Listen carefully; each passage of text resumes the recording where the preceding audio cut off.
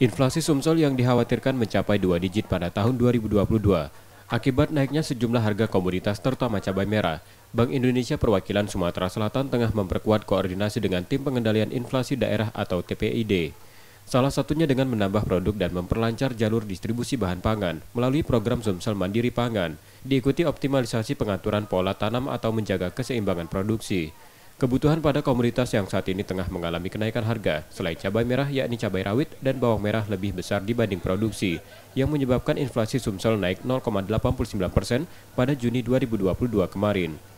Tim TPID ini bergerak terus untuk mengantisipasi eh, apa namanya potensi ya potensi kenaikan inflasi dan kita terus melihat perkembangan harga komoditas volatile food dan juga perkembangan dari administered price yang apa memiliki resiko ya terhadap uh, kemungkinan munculnya uh, tekanan inflasi dan saya rasa dengan program kemandirian pesantren dan juga pembukaan beberapa lahan uh, antara lain untuk di bawang dan juga di cabai saya rasa ini mudah-mudahan uh, bisa membantu untuk menurunkan uh, apa namanya uh, harga ya di di pasaran.